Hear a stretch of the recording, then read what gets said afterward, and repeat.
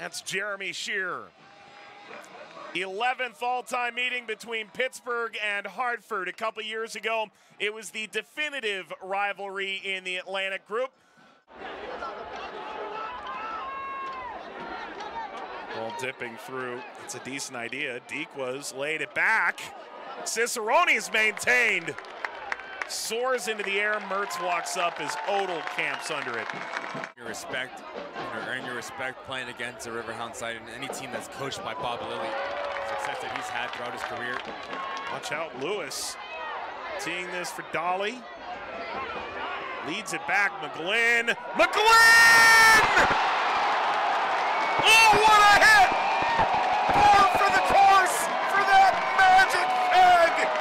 1-0 Hartford, magnificently. Pull players in, holds off his defender.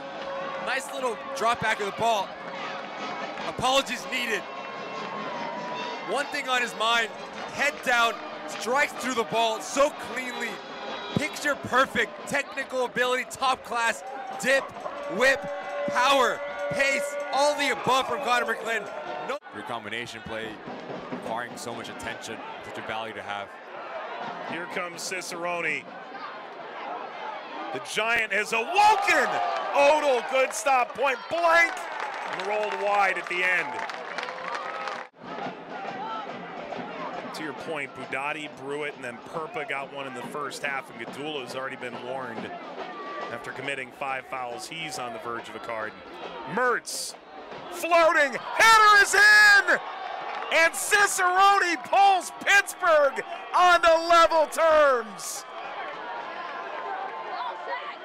A long, long time coming.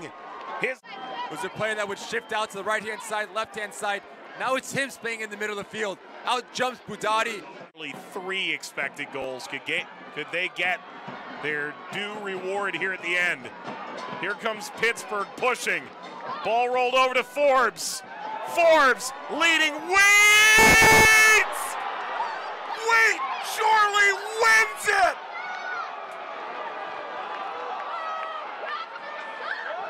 Can you believe it?